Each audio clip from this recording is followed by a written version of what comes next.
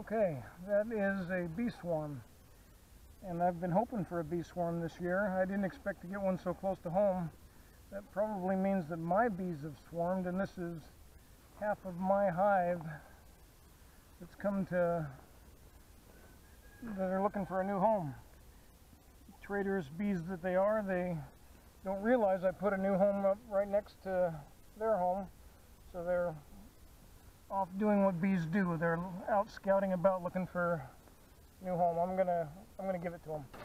I've got a, uh, a hive that uh, a honey super or a brooding super set up, and I'm gonna put it in back of the trailer. Gonna put the whole well, I'm gonna put the swarm in, and I'll let it sit overnight. Put the lid on close the lid off later on tonight. That way, it allows all of the uh, bees to come home. So they're out searching right now for a new home, and they'll come to the scent of the pheromones of the queen, and they'll all be in by the time it's dark tonight, and I'll come and close them in and let them set up shop for a few days, and then I'll put them somewhere and that'll be their new home. This would be a mobile home for bees.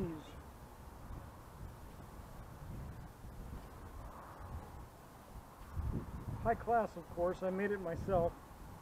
This is not your typical single wide, this is a double wide, or a double stack. Uh, two floor accommodation, two story accommodation. And my cat is currently right underneath the swarm. That's probably not a good place for the cat to be but we'll figure it out eventually.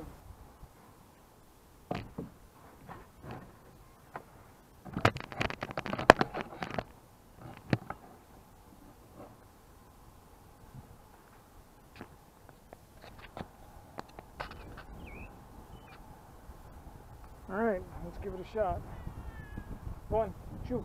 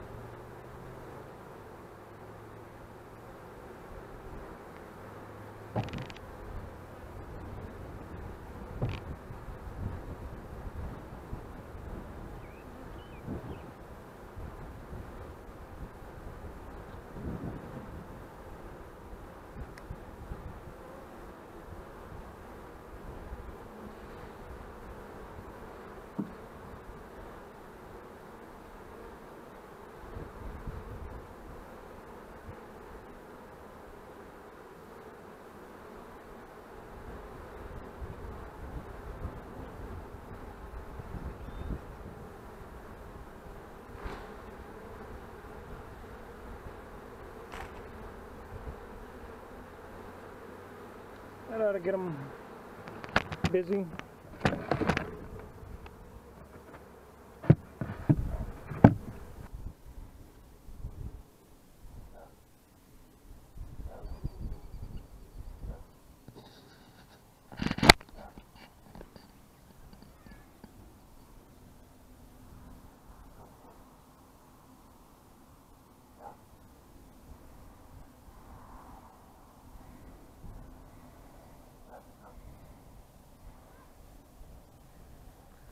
Looks like the bees have made themselves at home.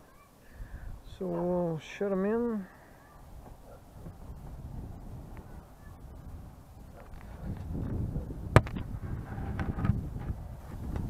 Leave them there for a couple of days and